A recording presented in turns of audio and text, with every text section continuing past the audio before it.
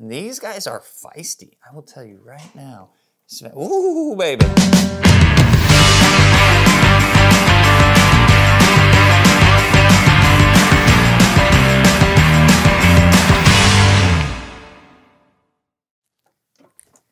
All right, everybody. So this is going to be the first of many pigeon updates. Um, as I promised, we were going to be talking about several different things, and one of my hobbies and stuff that I would like to share with you is about pigeons. What we're going to be taking a look at today is my team of breeding birds, if you will, and kind of their daily regiment, um, what they're looking like, what kind of birds we've got right now, the babies, the plan a little bit if we have time to get into that for what I'm gonna be doing from a racing standpoint this week. But all in all, it's gonna be pretty cool. Now, my caveat for you all is I am not by any means a racing pigeon expert. What I do have is a little bit of knowledge that I've learned from some good people, and I'm happy to share that with you, as well as please feel free to throw in the comments below if you think I'm doing anything at all wrong or could be doing it better. I always wanna learn, and I'd love to hear it from you. All right, so we are inside. Yes, right now I keep, I'm, I get distracted here. I've got a little flip out lens so I can see what the heck's happening, but I will look at you. Um, we're inside here. Right now I have all of my breeders in cages and I'm gonna show you what that looks like really quick. Right here. And these uh, cages I got from, I believe, Global, Global Pigeon Supply. And then they come with these little bowls and we have something pretty sweet here. So it says, hey now, you watch yourself. Ooh, baby. All right. A um, couple different things. So all of the breeders have their independent nest bowls. And then I just flipped one of these extra bowls that I've got over um, to utilize as a little bit of a perch. They have paper. I just used uh, butcher paper here. Slides underneath. Obviously no birds here, no paper needed. And then we have some little babies. Check those out. Let's do that. These guys are feisty. I will tell you right now. Ooh, baby. She said, I am a mean little sucker.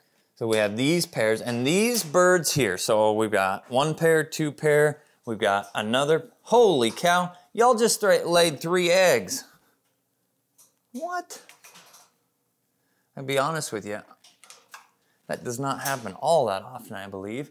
But we've got three eggs here. This is another pair. We have another pair that we're actually going to be putting together here. It's a little, uh, a little blue bar hen. Right, getting a little dark down here. Let's see if we can, for you. Uh, yeah, a little better there.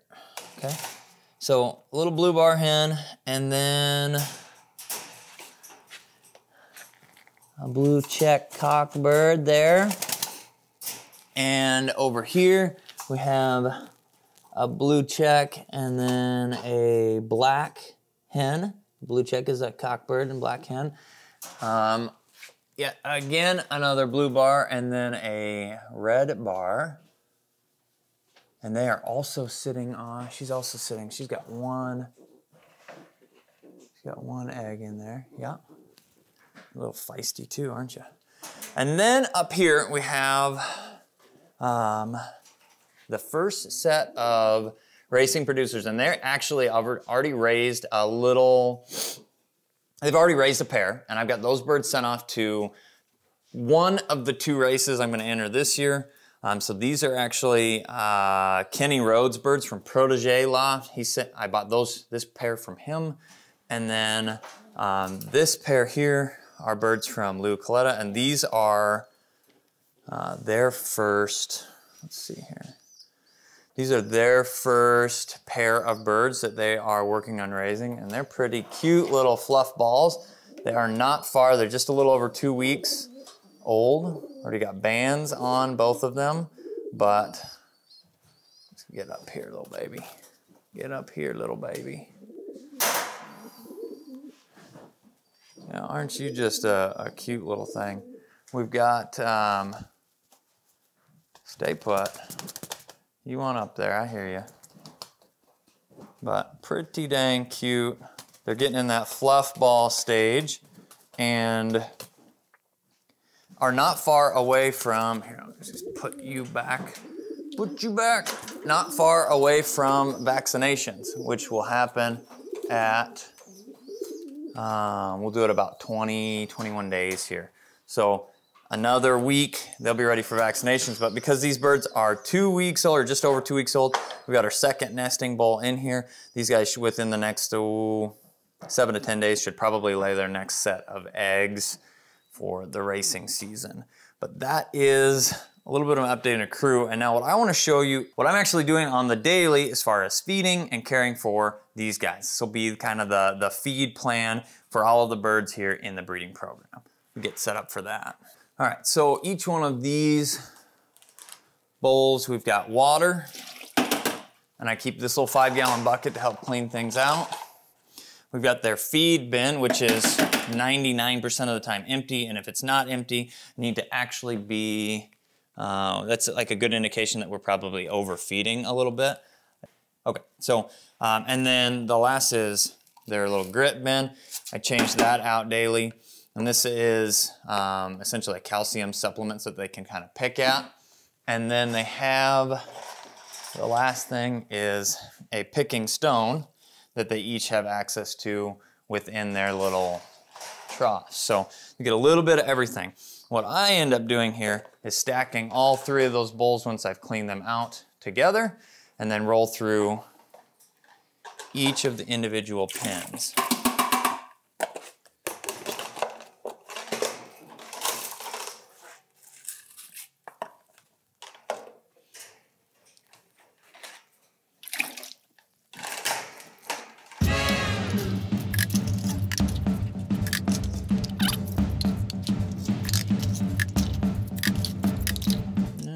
Last but not least, you guys down here hiding on the bottom.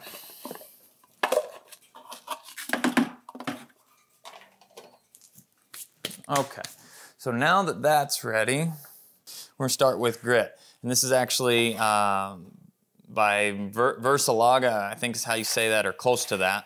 Um, it's spelled V Versele, V-E-R-S-E-L-E, I think, and then dash Laga. Um, but this is a really interesting grit. It's got little pumice stone pieces in it, other red rock in it, and then some shells and some other mixture of different things. Uh, I tried just a red rock grit before, and I mean, the birds drastically like this better than what they seem to the other. So it means that there's stuff in here that they seem to be needing.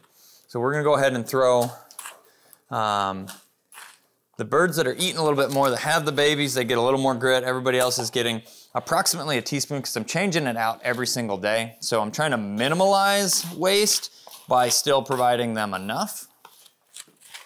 Go about a teaspoon per bird. Move through this fairly, ooh, pretty quick here.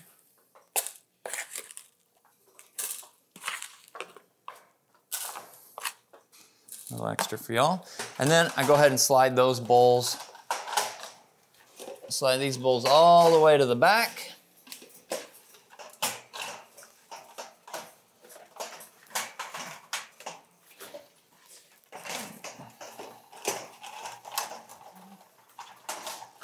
And they usually get after that pretty quick. So I've actually got my little weekly calendar. This was written up for me by Lou, who I've kind of essentially um, apprenticed under, and I don't even call it apprenticeship. He's helping me out. He gives me information, makes recommendations, tells me, answers my silly questions. So uh, bless his heart, he's been very helpful. Um, today, we're actually utilizing peanut butter on the feed. So we take creamy peanut butter and melt it so that it is, and you have to add a little bit of oil so it's oily enough. Um, and then that goes on the feed and what we're essentially accomplishing with that is the peanut butter has niacin, it's B3. So niacin is supposed to be good for feather growth development. Um, and we'll be preparing that today, as well as their water kind of changes throughout the week. Um, apple cider vinegar is a big thing from an acidifier, as well as supposed to help with gut health and stuff like that. Um, and they say it's holds true. That's a, that's a people thing, but they say it holds true for the pigeons. So we'll be utilizing that in their water. And um, I'm gonna show you what that looks like. Okay, so we get a little bit of our peanut butter in here. And then in order to get it to the point where we can actually add it to the feed, we need just a little splash of oil. Um, this is garlic oil. Garlic's supposed to be a natural antibiotic. And we'll start with that. And then we're gonna actually run over, throw this in the microwave. Once this start mixes, mixes pretty good already with um, just a little bit of oil in it. Warm this up and it'll melt even better. This is the, probably one of the piddliest meals as far as everything else goes. Most of the time we do we just give normal feed for them, but it's nice and supposed to be really important, which comes from the peanut butter. I'll be right back. All right. Nope, we need more. We need more!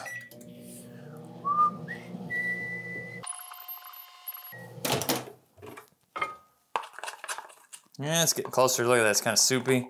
We're getting closer. We're getting closer. We need more.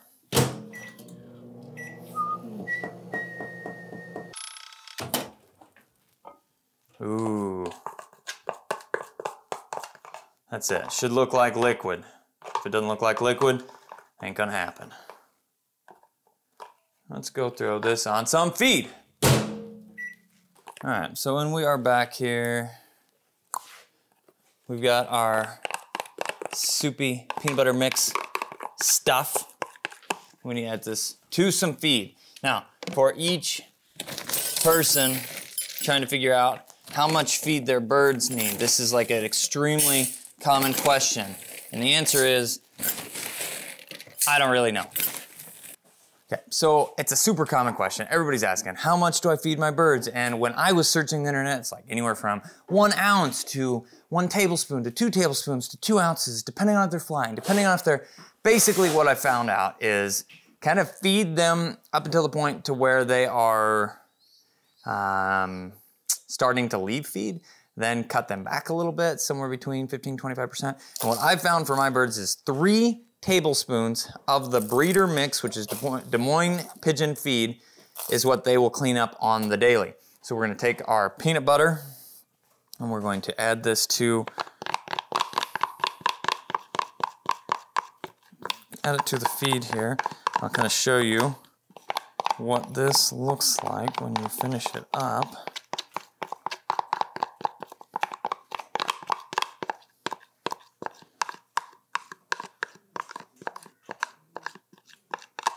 Come on now. Get it all out of there. I never get it all out of the bowl, so I kind of uh, add a little bit extra in anticipation of not getting all of it. and, and then stuff like that happens, and it's like, eh. Come on. All right, so now you stay there.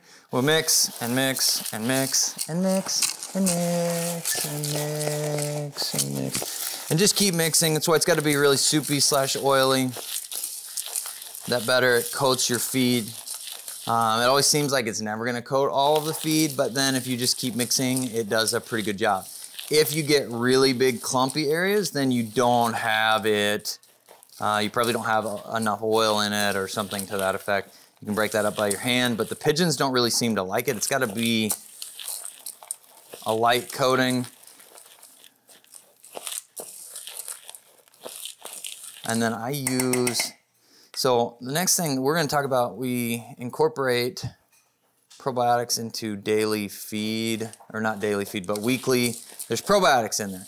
Um, I utilize just a little bit of those probiotics on here because the powder kind of takes some of the stick off of the feed and it makes it easier to scoop and ration out and the birds seem to eat it better. Now, the company with the probiotics specifically told me that it's it kind of needs the water to really activate them.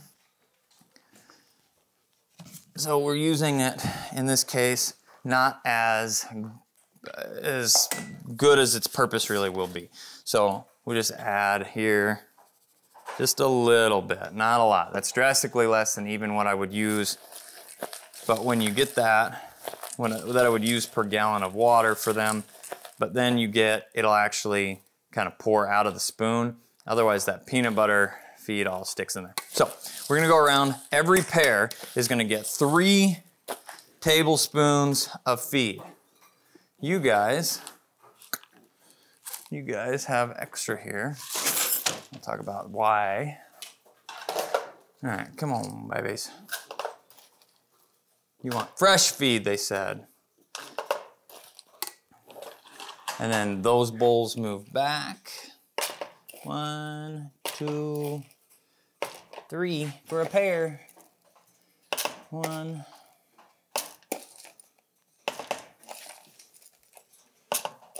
A one, a two, a three.